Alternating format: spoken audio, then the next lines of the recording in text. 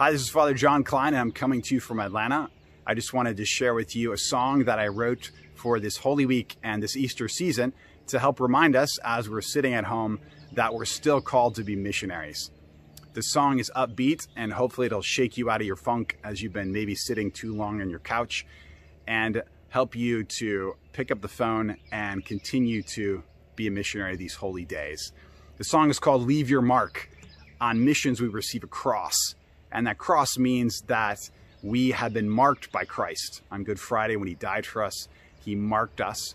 And we're different. We're different people.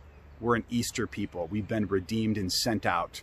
And so we wear this cross, and I invite you, even when you're sitting at home these days, wear your mission cross, knowing, uh, help you to remember that you've been marked by Christ, but also you're sent out to help Christ mark this world through your unique personality and your gifts and talents. God wants you to use your creativity to still be a missionary these days.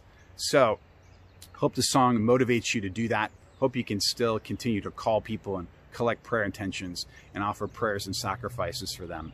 You're still a missionary. You've been marked by Christ's blood, and you're called to go and help him leave his mark on this world. Hope you like the song.